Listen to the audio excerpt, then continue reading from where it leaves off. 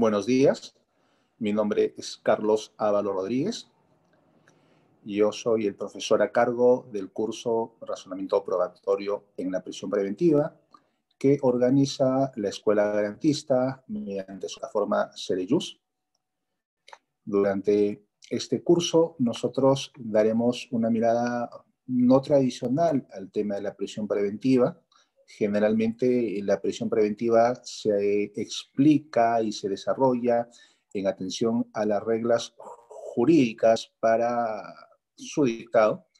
Sin embargo, no es tradicional la mirada de cuáles son las reglas de conocimiento que tienen que observarse necesariamente para llegar a concluir, por ejemplo, si existe efectivamente sospecha fuerte, si existe efectivamente circunstancias que acreditan el peligro procesal o las circunstancias que sirven para pronosticar, en último término, la real concurrencia del peligro procesal. El curso empieza el 25 de septiembre, los espero.